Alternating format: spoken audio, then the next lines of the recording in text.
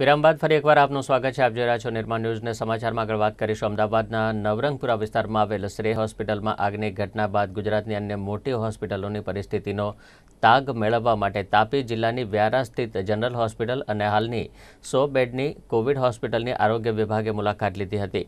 અમદાવાદની શ્રેય હોસ્પિટલમાં ભીષણ આગની ઘટનામાં કેટલાક નિર્દોષ દર્દીઓ પડતું થયા તો કેટલાક દર્દીઓ ગંભીર રીતે ઘાયલ થયા. વ્યારાની જનરલ હોસ્પિટલ અને હાલ સો બેડની કોવિડ હોસ્પિટલની મુલાકાત લીધી હતી, જેમાં ફાયર સેફટીની સાથે જ વાયરિંગની પરિસ્થિતિ જોઈને ત્યાંના સુપ્રિન્ટેન્ડન્ટ ડોક્ટર નૈતિક ચૌધરીએ માહિતી આપી હતી.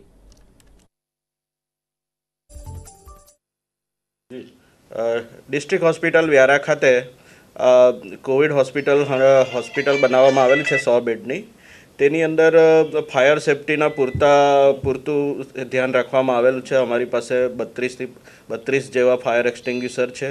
અને દર, દરેક જણ સ્ટાફના એક, દરેક જણ ક્લાસ ફોરથી લઈને સિક્યુરિટી અને class one medical officers doctors પણ તમામ એ ટ્રેન છે.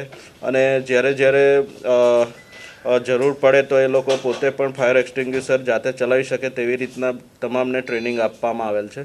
દર ત્રણ મહિને અમે ટ્રેનિંગનું આયોજન કરીએ છીએ અને એક મોક મિની ડ્રિલ દર છ મહિને અમે કરીએ છીએ હાલ પણ બે દિવસ પહેલાં અમે મોક ડ્રિલ કન્ડક્ટ કર્યું હતું અને તેની અંદર દરેક જણે પોતપોતાની રીતના યોગદાન આપીને ફાયર એક્સટિંગ્યુશર આગ લાગે ત્યારે કઈ રીતે ફાયર એક્સટિંગ્યુશર ઓપરેટ કરવા તે પ્રમાણે તેમણે પોતાની સ્કિલ્સ બતાવી હતી.